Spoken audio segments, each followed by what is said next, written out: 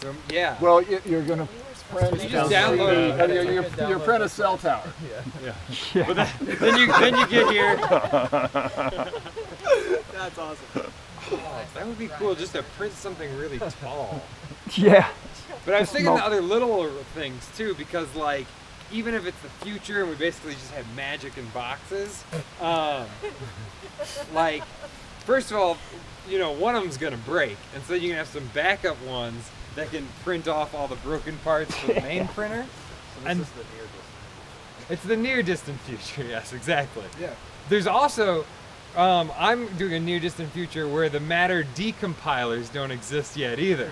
so then it comes with some sort of, I'm gonna say, flamethrower.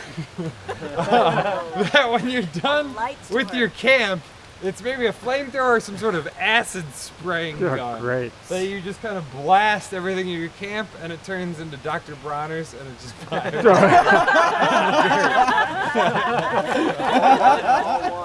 yes, all one. Very good. I like that.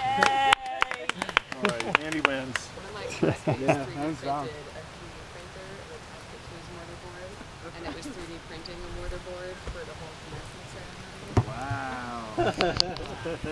oh, that's cool.